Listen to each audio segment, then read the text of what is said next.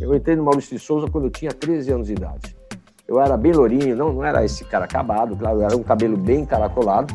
Fiquei 14 anos fazendo todos, todas as histórias da Turma da Mônica, todas.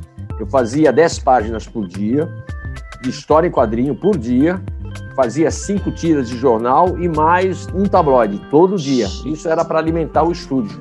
Vamos fazer Chico Bento aqui. Chico Bento, aqui o Chico Bento. Ele, ele gosta da comadre Janaína. Vou fazer o Chico Bento, vou levar um peixe que ele pescou, tá levando pro salinho.